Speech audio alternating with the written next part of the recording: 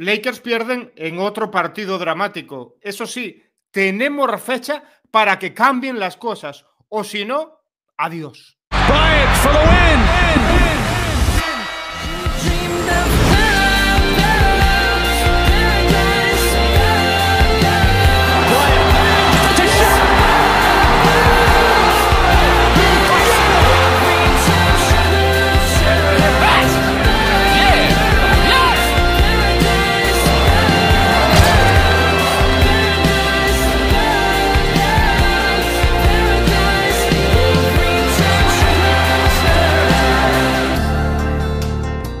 Bienvenidos a la fiebre amarilla, bienvenidos a una nueva derrota de Los Ángeles Lakers, una nueva derrota que nos deja muy tocados, muy tocados al final, ¿eh? Al final ese Portland Trailblazers viaje a Portland, perdemos en un 105 a 90, donde Los Ángeles Lakers estuvieron absolutamente negativos, donde hubo incluso diferencias del otro equipo por encima de 38 puntos. Una friolera absolutamente escandalosa, señores. ¿Cómo se puede dar esto en Los Ángeles Lakers? ¿Qué tipo de vergüenza es esta en Los Ángeles Lakers? Todo esto lo vamos a analizar, vamos a ver lo que dicen los chicos de Spectrum. También vamos a hablar qué ha pasado ahí con Anthony Davis. Solamente siete minutos. ¿Por qué? ¿Cuál fue la razón? Y justamente aquí te vas a enterar. También palabras de Russell Westbrook, que hoy más que nunca está señalado porque ha estado de manera desastrosa justamente en este partido, un partido donde el señor Russell Westbrook estuvo muy negativo, con esos ocho puntos, nueve rebotes, seis asistencias, dos robos de balón, pero seis pérdidas, señores, evidentemente es el señalado, es el foco señalado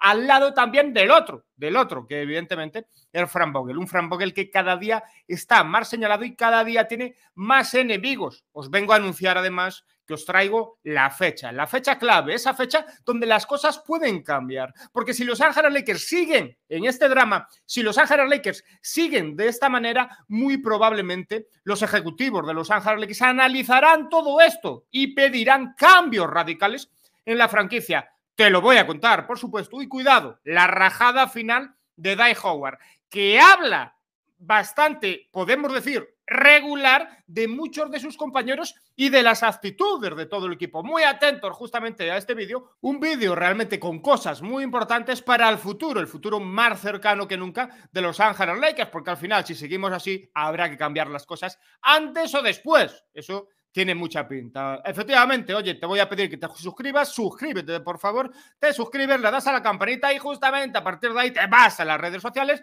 nos sigues en arroba la fiebre Lakers y justamente aquí empiezo, empiezo con el contenido prometido, el contenido prometido y vamos a ir directamente, directamente a lo que pasó aquí, señores. Lo que pasó aquí es básicamente, esto es Spectrum, ¿eh? esto es Spectrum, la televisión de cable de Los Ángeles Lakers, donde vamos a escuchar los primeros análisis. Tenemos a su presentador, tenemos al lado a Robert Horry, toda una leyenda del baloncesto NBA y toda una leyenda aquí Los Ángeles Lakers, que está trabajando ahora mismo en Spectrum. Y al lado de Robert Horry también tenemos a Jess Worthy. Vamos a escuchar a los tres señores. Y una vez escuchado a los tres, podemos opinar. Primero escucharemos a uno, después escucharemos al otro, después al otro. Y después os meteré además las declaraciones de Russell Westbrook. Y después de Westbrook os contaré cuál es la fecha. ¿Cuál es la fecha marcada por parte de Los Ángeles Lakers? Y no es una fecha de hoy, es una fecha de toda la trayectoria de Rob Pelinka, el general manager de Los Ángeles Lakers. Escuchamos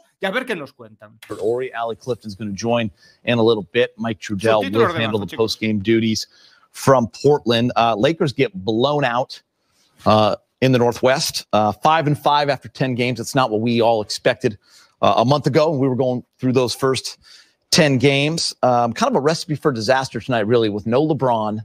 AD only plays seven minutes, and you got a, a Portland fan base and a Portland team ready to go. Um, only stat I'm going to give you is this, guys, to start the show. First and third quarters, 78 to 40, James and Rob. 78 to 40 Blazers. That's minus 38 in the first and third quarters. Atención al diferencial. Repetimos, 78-40, menos 38. Cuidado, ¿eh? Cuidado, cuidado ese puntito, ¿eh?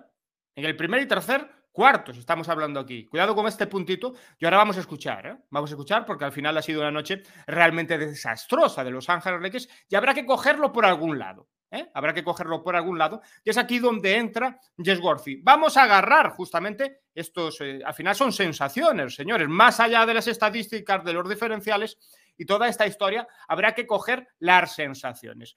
Vamos a escuchar primero a Jess Worthy, donde os vais a dar cuenta de que ya no es solamente la derrota, es que evidentemente este tono bajo de Jess Worthy, un Jess Worthy intentando explicar lo que está pasando aquí, un tono tan bajo de Jess Worthy, es que realmente esta franquicia está en un momento de sensaciones de baloncesto y de sensaciones de plantilla realmente bajos. Escuchamos a Jess Worthy. Yeah, I mean, it, it seems like we're going to have to wait a while. I mean, this this game was, you know, it was Portland's game. Damian Lillard only scored what four points the last game mm-hmm. out. You know, he was going to come back and and try to win at home, but uh, yeah, the Lakers just they're they're not in sync uh, on either end of the floor. Um, there, there's no excuses, but we, we are missing players. Tucker's out, Nunn's out. LeBron, a, a major ingredient. Um, you know, Russ still fighting his way through, through situations. Uh, it doesn't look good. They shouldn't get outplayed the way they uh, were outplayed. They shouldn't be getting out rebounded and things like that. But when you're not in sync, it starts to affect the mental capacity. And sometimes you're not ready. You think you are. You're going through the motions. Uh, they're in a tough spot right now without any continuity of, of, of players that they can depend on for five, six games straight so they can get some type of connection. They don't have it. And it's and it's showing up in in in games against Oklahoma. It's showing up against uh, young teams like Memphis, and it's showing up just about every game. So they got a lot of work to do. Uh, a lot of pressure on the coaching staff right now to try to. Cortamos aquí justamente en las palabras de Jess Worthy para ¿eh? señalar justamente el punto más importante, donde dice que realmente está muy señalado el cuerpo técnico, ¿no? Al final los entrenadores, todos estamos señalando al mismo, todos estamos señalando a Frank Vogel y evidentemente cuando señalamos a Frank Vogel también señalamos a todos sus asistentes. Un cuerpo técnico muy señalado, pero también habla de muchas más cosas, de sincronización. Lo están intentando, pero por lo que sea no están encontrando esa sincronización. Por lo tanto, sabemos los esquemas, sabemos los esquemas perfectamente ofensivos, defensivos, pero al final como no están sincronizados, no llegamos a buen puerto. Claro que había que dar una mejor imagen justamente aquí en Portland. Al final, dice Worthy, bueno, al final nos faltan una serie de jugadores, pero hay que salir aquí y hay que hacer el trabajo de igual manera. Al final, que no esté Lebron, pues efectivamente, no está Lebron, pero ¿qué pasa? No está Lebron, pero habrá que jugar al baloncesto, habrá que trabajar en el baloncesto. No está Anthony Davis, o solamente estuvo siete minutos. Oye, es una desgracia, pero al final hay que salir a trabajar. El señor Westbrook aún se está buscando hay muchos jugadores que están fuera, como por ejemplo Kendrick Nunn o por ejemplo Talen Horton Tucker. Ya lo sabemos. O sea, realmente son bajas muy importantes, pero no nos podemos quedar en eso. En lo que nos tenemos que quedar, señores, es que este equipo no sincroniza ni ofensivamente ni defensivamente y que esto, como avisa justamente el propio Jeff Worthy al inicio de su comparecencia en Spectrum, esto, dice Worthy, vamos a tener que esperar un ratito, un ratito bastante largo, señores, un ratito que va a ser bastante, bastante largo. Oye, más cositas, más cositas. Vamos directamente con otro de los grandes señalados. Después vamos a escuchar a Robert Horry, que también me interesa mucho su percepción del partido. Pero antes de escuchar a Robert Horry, ¿por qué no escuchar en rueda de prensa, señores, a Russell Westbrook, el otro señalado? Y después de Westbrook, aviso, os cuento cuál es la fecha para los cambios. Solo desde mi perspectiva, solo juega más duro. Eso es lo que tengo que corregir.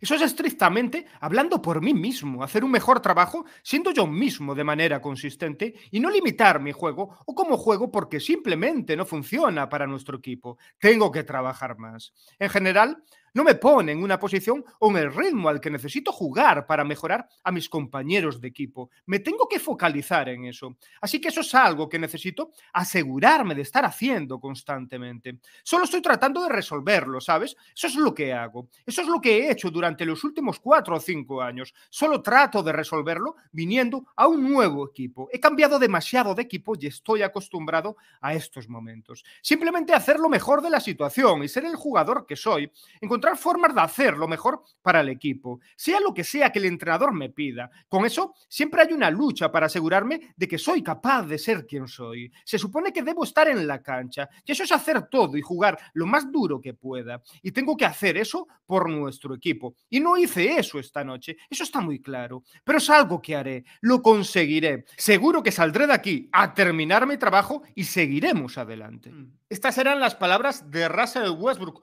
un tipo que er señalado una vez más, una vez más ser señalado, los culpables, Frank Vogel, ¿eh? todo el mundo, culpables, Frank Vogel, y culpables, Russell Westbrook. Por lo tanto, claro, Russell Westbrook sale ahí y dice, ya lo corregiré. Al final en Washington lo acabó corrigiendo. Al final, el último tercio de ese año, de la última temporada con Washington Wizards fue absolutamente brutal y la gente que sueña con un mejor Russell Westbrook nos señala justamente esa fecha, ¿no? Esa fecha en el último tercio de la temporada donde Russell Westbrook va a ser un jugador absolutamente determinante, ¿no? Esa es la fecha para Russell Westbrook, pero la fecha para Los Ángeles Lakers es absolutamente distinta. Al final, nadie está queriendo decir esto, señores. Pero Rob Pelinka, general manager de Los Ángeles Lakers, la anterior temporada ya marcó una fecha. Marcó una fecha porque decía, oye, en aquella temporada, la temporada de después del anillo, los Lakers empezaban jugando relativamente mal. Y es ahí donde Rob Pelinka salió en los medios de comunicación y nos puso una fecha, que es la misma fecha que hoy tienen Los Ángeles Lakers encima de la mesa. Venga, Rob, cuéntanos cuándo cambias. ¿Sabes? Estuve hablando con Magic Johnson la otra noche sobre esto. Comúnmente entras en una temporada y probablemente sean entre 20 o 25 partidos en los que obtienes una buena prueba de fuego. Es ahí donde nosotros, los ejecutivos, nos sentamos en una mesa y analizamos qué está pasando. Y si hay que cambiar cosas, siempre va a ser a partir repito, entre 20 o 25 partidos donde nos sentaremos todos para cambiar cosas.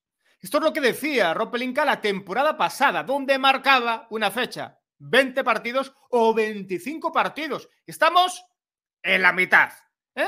Estamos en la mitad, señores. Cuidado porque estamos en la mitad es justamente este 5-5. 5 victorias, 5 derrotas, 10 partidos, 5 más 5 son 10. No se nos escapa. Por lo tanto, estaríamos en la mitad. 20 partidos. Podríamos estirar hasta los 25 partidos para ver si al final llegan los lesionados y se corrige esto. Pero desde luego, estos 20 partidos, es decir, faltan 10 partidos para que Rob Pelinka se siente con los ejecutivos y los asesores de la propietaria. También sorprende bastante que el año pasado Magic Johnson no era tan cercano justamente a los ejecutivos, ni tan siquiera era tan cercano a Ginny Bass, pero Magic Johnson ya estaba asesorando a Rob Pelinka. Realmente curioso, ¿no creéis? Oye, además, habrá gente que me diga, oye, lo de Anthony Davis, ¿qué ha pasado? Bueno, lo que ha pasado es prácticamente un drama. El caso es que eh, estaba para jugar, Anthony Davis quería jugar e incluso jugó, jugó siete minutos. ¿Por qué solo siete minutos? Porque de repente, claro, uno pueda pensar, oye,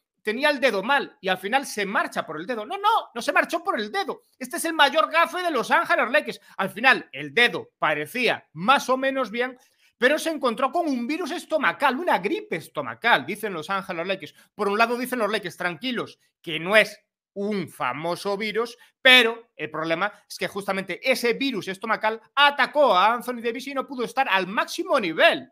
Quiso estar, pero al final dijo el señor Fran Vogel, ha vomitado cuatro veces entre la previa y durante el partido. Que yo digo, no habrá nadie en esta santa casa que le diga a Davis, por Dios, que no juegues está así de mal.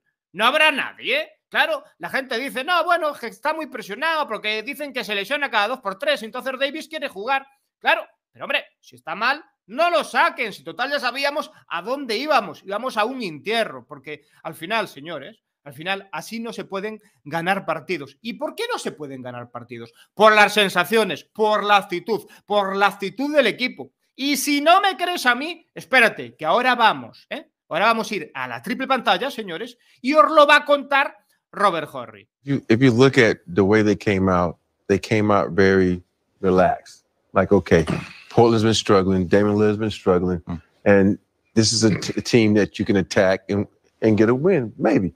And but it was the opposite. It's almost everybody's going to go at the Lakers just because of they are the Lakers. They have LeBron James, they have Carmelo Anthony, they have all they have all these future Hall of Famers on their team, and so they need to come out with some type of energy and some type of effort every night because people are going to come at them each and every night. Because I guarantee you, on their board in the locker room, they're saying this is our championship game. This is a team that is supposed to win the West. Mm-hmm. This is how we can, you know, see how yeah. we stack up. Yeah, you talk about. Hasta aquí, señores, lo deja bastante claro, ¿eh? Lo deja bastante claro el señor Robert Horry. Mientras nosotros salimos dormidos, en el otro lado están ellos, que se reúnen en el vestuario y que dicen, vamos a darle duro a estos, ¿eh? vamos a darle duro, porque se presupone que estos ganarán el oeste. Bueno, por si se presupone que estos tienen muchos salones de la fama, le vamos a dar duro. Mientras los que salimos en energía, los que salimos a no hacer nuestro trabajo, los que salimos dormidos durante muchas partes del partido, somos nosotros. Claro que hoy no estaba Lebron, claro que hoy no estuvo, o vamos, solo estuvo siete minutos el señor Anthony Davis, pero al final tenemos una rotación que debería de hacer mejor su trabajo o por lo menos entregarse más a hacer su trabajo. Esto es lo que dice Robert Horry, pero lo peor de todo es que esto es lo que dice un señor que se llama Die Howard en lo que es la peor declaración de esta temporada de un jugador de Los Ángeles Lakers. Si esto dice Die Howard, señores, a saber lo que está pasando en ese vestuario. Un día más, no hay excusas. No podemos poner excusas. Energía, esfuerzo y humildad tienen que pasar esas cosas en Lakers. No podemos poner excusas. Eso no es baloncesto de los Lakers. No hay ningún tipo de excusas. Esa es la única forma en la que podemos ganar. Humildad, energía y esfuerzo, lo vuelvo a repetir. Y salir todas las noches y simplemente jugar. Pero como dije, el esfuerzo tiene que estar ahí. Siempre tiene que estar ahí. Si perseguimos ganar un campeonato, tenemos que ser humildes. Esto es lo primero. No somos un equipo de campeonato ahora mismo, pero queremos serlo, queremos estar allí. Por lo tanto, tenemos que ser humildes desde ya. Eso no afecta a quienes somos como jugadores. Es solo como equipo. Si quieres ganar en cualquier nivel, tú tienes que ser humilde. Tienes que ser mucho más humilde y sobre todo mostrar mucho más esfuerzo. Dai Howard en esta rueda de prensa era absolutamente brutal y hablaba de dos conceptos muy importantes. Por un lado está el concepto esfuerzo, palabra y término que utilizaba en esta rueda de prensa, contada por los medios de comunicación nueve veces, hasta nueve veces, Dave Howard habla de esfuerzo, también habla de humildad. Por lo tanto, recojamos, mezclemos un poco lo que nos dice Robert Horry y lo que nos dice aquí, justamente en estas declaraciones, Dave Howard, y hay algo básico hay algo básico. Decía Jess Worthy, bueno, hay que aprender a sincronizar, hay que seguir trabajando. Ya, esto es un punto. Pero el otro punto es que si lo dice Robert Horry y si lo dice un tipo que está dentro del vestuario, que este equipo, uno, no tiene humildad contra los rivales que les están tocando. Punto uno, no tenemos humildad y no tenemos esfuerzo. Habrá que empezar a respetar al rival, a ese tipo que te va a pegar justamente y que te está deseando pegar, que son ellos, que son Portland veces, pues en este caso, y que han sido otros muchos equipos, Oklahoma, ni te cuento, esto es un punto, ¿no? Esto es un punto. Hay que respetarlos, por lo tanto, la humildad. Y después, cuando ya empecemos a ser humildes, señores, hay que justamente respetarnos a nosotros mismos. ¿Y cómo nos respetamos a nosotros mismos? Poner ahí el trabajo, la dedicación y sobre todo la otra palabra clave, la de las nueve veces, esas nueve veces donde aquí dice justamente Ben Howard, esfuerzo, sin esfuerzo, sin humildad, señores, estos Lakers no van a hacer absolutamente nada, por lo tanto, toca trabajar.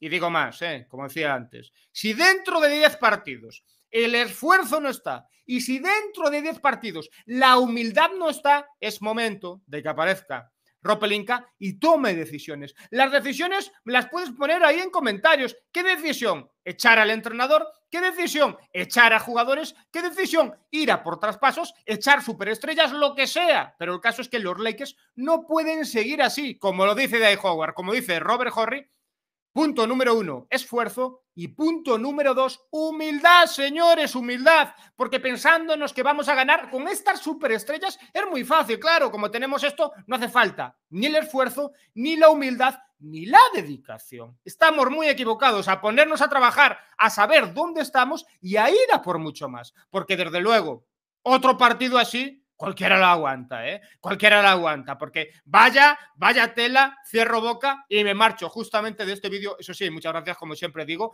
Oye, hoy en Mambout yo diría que ni va a existir en Mambout porque mira, propietaria, llevamos mosqueo, llevamos mosqueo, propietaria, llevamos ya eh, que nos llevamos demasiado tiempo oliéndonos justamente esta situación. Y tengo yo aquí pocas ganas justamente de saludar y todo esto, tal. Eso sí, a los miembros del canal un enorme abrazo. Ya sabéis que vamos directamente a dar muchos más contenidos ahí a los miembros del canal. Muchas gracias por el apoyo, muchas gracias justamente por los ánimos en muchas ocasiones en ese grupo de Telegram y a los de los comentarios. Oye, muchas gracias por el apoyo, muchas gracias por seguir todos nuestros vídeos. Hoy es día de escuchar a los protagonistas, escuchar lo que está pasando, saber que dentro de 10 partidos se van tomar decisiones o que por el momento va a haber ese tipo de reuniones en los ejecutivos, porque así lo marcaba Rob Pelinka el año pasado. Y al final, este tipo de cosas se repiten de un año a otro año, al final, ¿no? Se sientan siempre en esos 20 partidos para tomar decisiones o ser continuista o hacer cambios drásticos. Ya veremos lo que pasa en los Ángeles Lakers, pero son días realmente dramáticos. Hasta el próximo vídeo, chicos. Ojalá mañana con mejores ánimos.